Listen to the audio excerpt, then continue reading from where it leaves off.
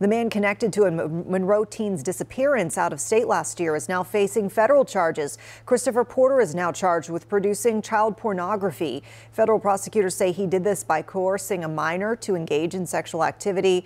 Back in October, police say they arrested Porter after they caught him with a Monroe teenager in Missouri. She'd been missing for two weeks. Investigators say Porter connected with that teen on social media and convinced her to run away.